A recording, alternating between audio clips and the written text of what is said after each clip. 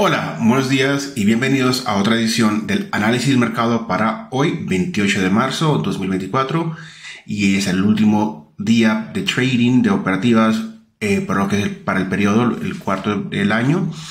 Y bueno, el SP 500 alcanzó su vigésimo primer cierre récord del año ayer y está en camino de terminar el trimestre con su mejor desempeño desde 2019.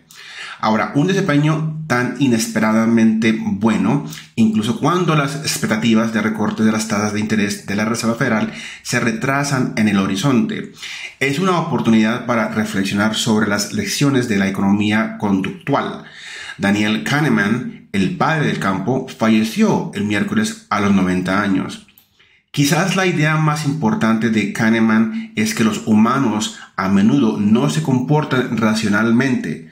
Basamos nuestras decisiones en el instinto, en pequeñas muestras de la historia, y tendemos a tener más miedo a las pérdidas que a la codicia de las ganancias.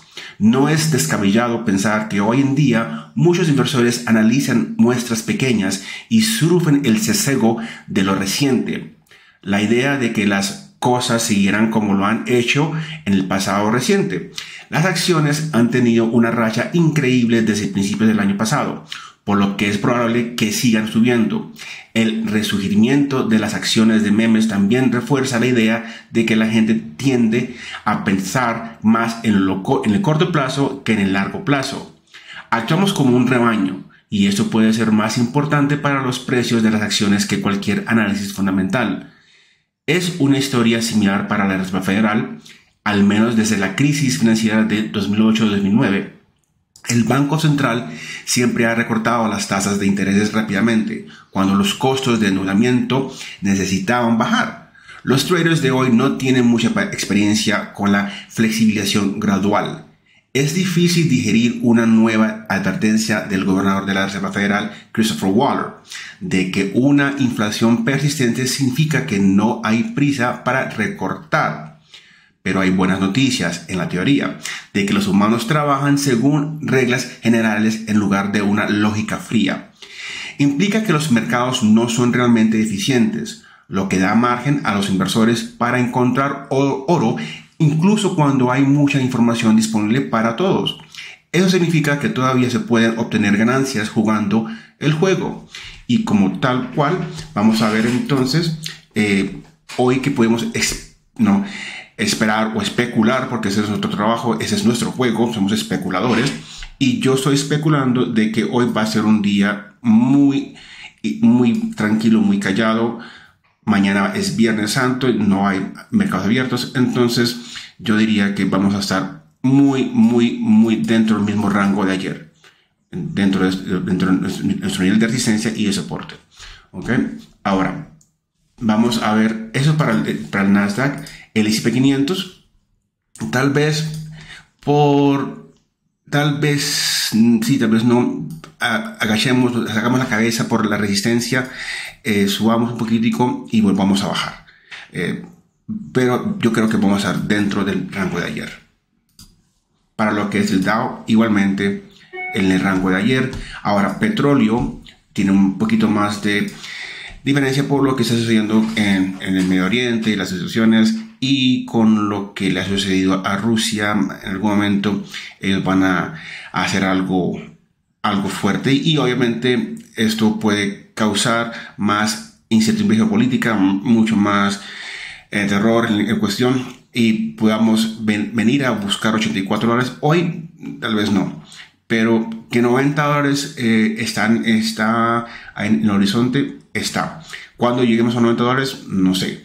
Eh, que lleguemos, hay probabilidades, ¿cierto? Que lleguemos a 90 el mercado nos está demostrando de que, por ejemplo, en el RSI estamos lejos de ser sobrecomprados, entonces podemos, tenemos campo para poder tal vez asomarnos por, encima de la resistencia, hacer lo que llaman un pullback y después rebotar al alza otra vez y buscar 84. Puede que eso suceda eh, hoy, mañana eh, hoy o la próxima semana. En cuestión al gas natural, el gas natural en sí aparentemente encontrado un piso aquí a 1.60.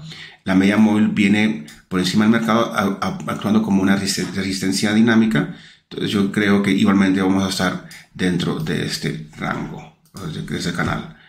Ahora, el oro ha hecho en el mercado de futuros, ha hecho movimientos más altos, ha creado otro histórico alto.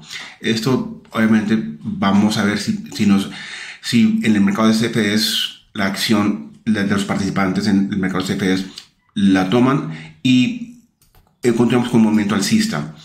El RSI se está sobrecomprado, entonces algún pullback se puede esperar, obviamente como lo estamos viendo ahora mismo, eh, tal vez hacia un 2200 y después de, ese, de este llegar a este nivel rebotemos hacia el alza. Probablemente. Estamos especulando. Acá tenemos entonces plata, igualmente plata manteniéndose dentro, dentro del rango eh, que tenemos acá, eh, okay, dentro ese canal. El cobre igualmente vamos a estar viendo. Eh, ahora estamos creándonos un setup, una, una forma de ver una posible ruptura y la ruptura de estos mismos altos y mismos bajos podría ser hacia el alza, se favorece hacia el alza.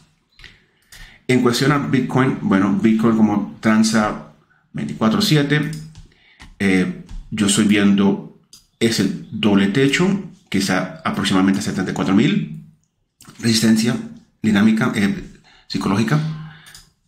Las divisas, el euro, si, busca recuperarse, vamos a ver si tiene fuerza para recuperarse, igualmente como la libra esterlina, y eso lo va a ayudar si el dólar index cae si continúa subiendo o si vuelve a subir, probablemente veamos esa misma acción de las divisas hacia la baja. Eso es todo por hoy. Mañana no hay mercados abiertos, mañana no va a haber, grabaciones. Hasta la próxima semana. Les deseo un fantástico fin de semana y nos vemos.